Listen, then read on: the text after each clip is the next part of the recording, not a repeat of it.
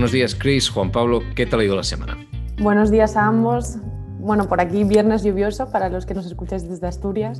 Buenos días también por aquí. Por aquí en Lanzarote también, un poco nublado y viento, lo cual es raro por estos lares.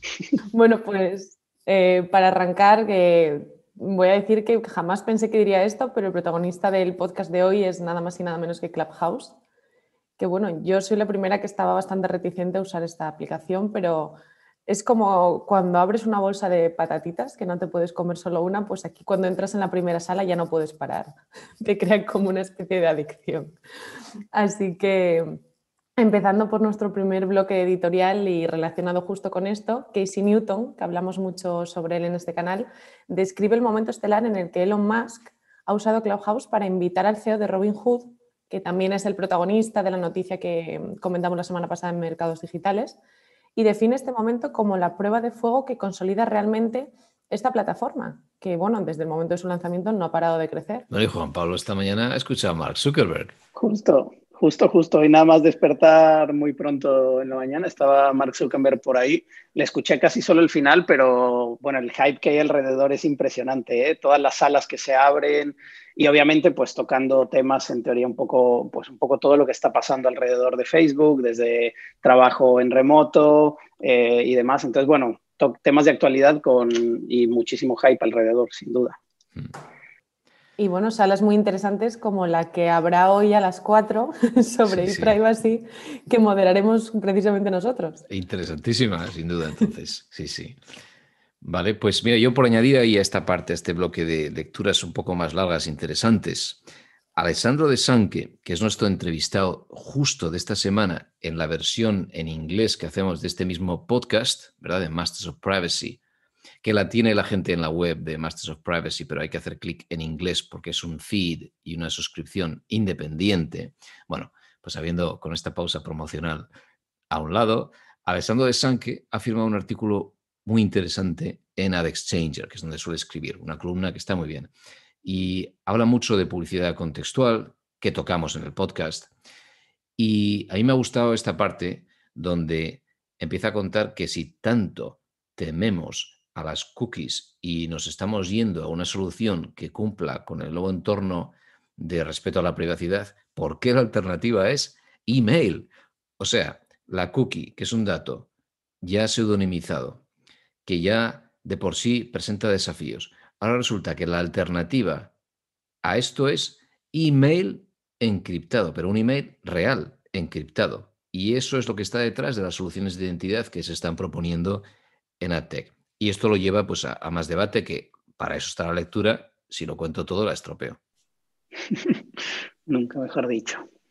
Pues eh, si les parece, pasamos a iPrivacy donde, bueno, una de las cosas que ha pasado interesante esta semana es que Facebook eh, ha decidido un poco adelantarse y sondear cómo está, cómo va, qué va a suceder cuando Apple lance la actualización de iOS 14, que, de la que tanto hemos hablado, que acabará pidiendo a todas las personas que autoricemos o no el tracking eh, de nuestras aplicaciones.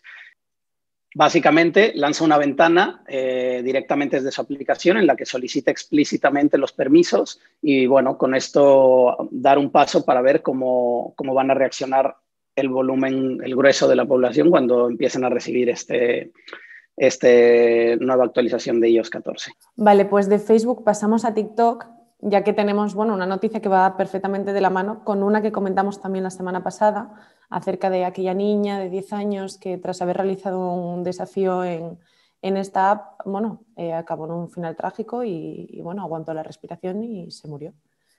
Y, esto ha hecho saltar las alarmas y la red social, de hecho, ya se ha comprometido a desplegar un mecanismo de doble verificación sobre la edad de sus miembros. Hmm. Y qué complicado es esto, ¿verdad? Porque cuanto más verificas la edad, a su vez más comprometes la privacidad, porque tendrás que demostrarlo de alguna manera, que haces, escaneas un ID y esto siempre está ese trade-off. Quieres proteger la privacidad de menores, pero para eso hay que saber que no eres un menor o quién es un menor. Claro.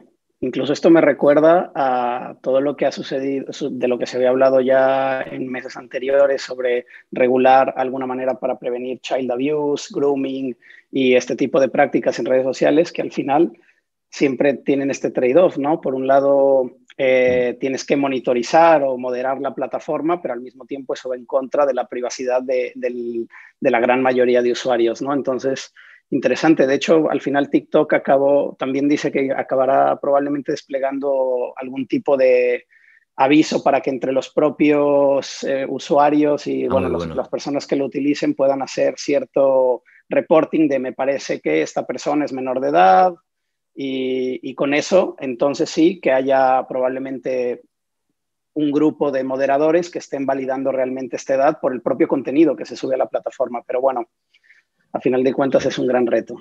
Pues esto que saca es muy pertinente porque precisamente ha estado en el epicentro del debate del reglamento de privacy.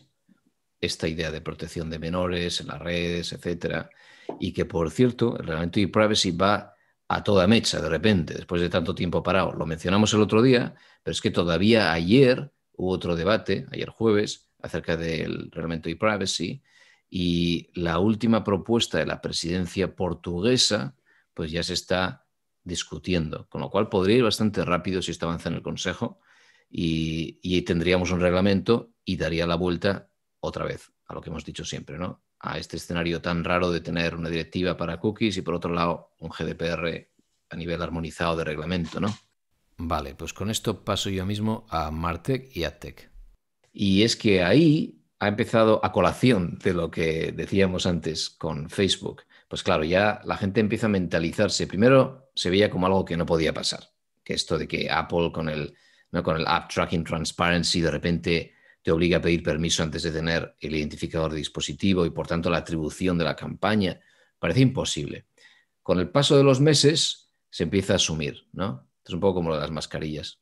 Y ahora resulta que ya pues se acepta que tienes que buscar un plan B y que la medición de campañas en entornos móviles va a tener que hacerse con datos agregados. Entonces, Apple ha dado dos alternativas. La principal es esta idea del SK Ad Network, SK Ad Network, que si alguien tiene el tiempo y las ganas, pondremos el link a cómo funciona.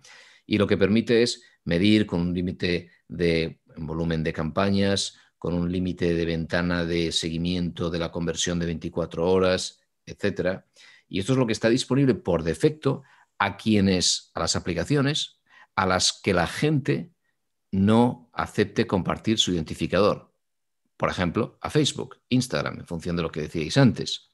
Y por tanto, muy parecido a lo que está pasando en Google con cohortes, con agregados, siempre agregados, ¿no? Pero sí que, por mencionar la última, por si hay interés, es que la otra alternativa que hay a usar el SKAD Network, pues está, da datos un poco más ricos de conversión, es el Apps, se llama realmente Ads Attribution API y funciona, pues, paradójicamente o, o no, paradójicamente, con la búsqueda en el mecanismo de la propia Apple, por tanto en, Search, en Search Ads dentro del App Store, lo cual pues favorece a Apple, ¿cómo no? Apple, claro.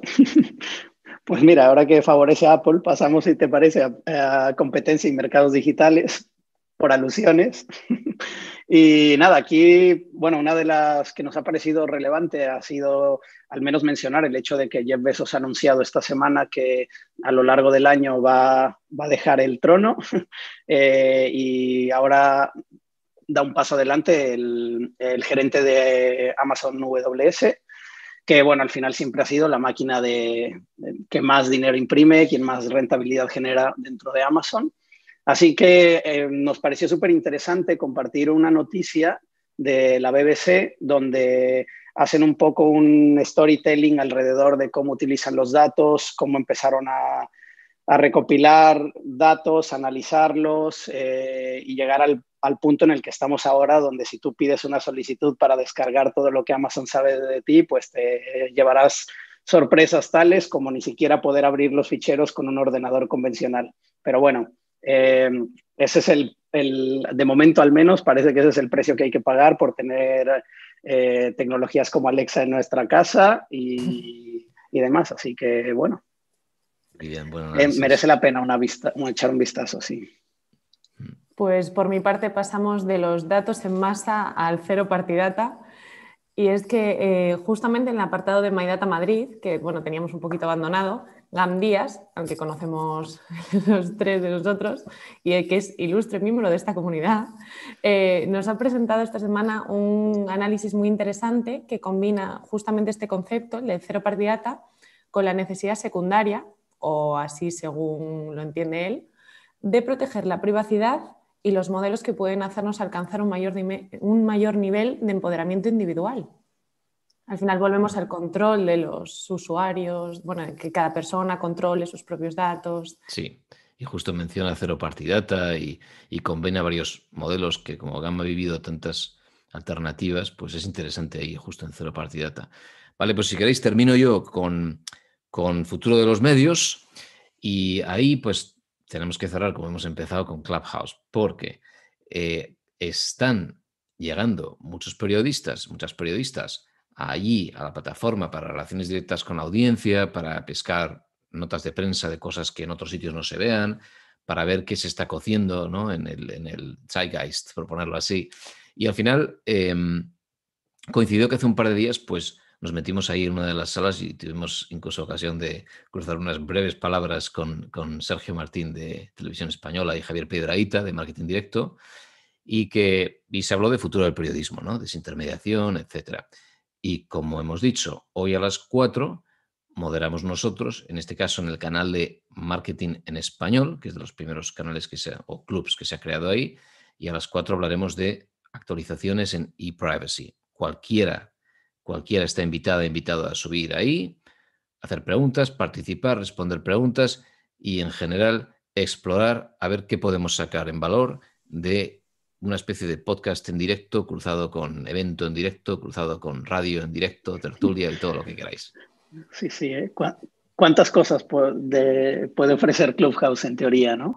Lo de la moderación va a ser salvaje. Va a ser increíble. Cuando aflore la naturaleza humana en todo su esplendor. Claro, ya han tenido algunos problemas, pero al final parece que han salido del paso, pero sin duda audio es mucho más difícil de moderar que texto, ¿no? Muy bien. Pues muchas gracias y buen fin de semana. Buen fin de semana. Buen fin de semana.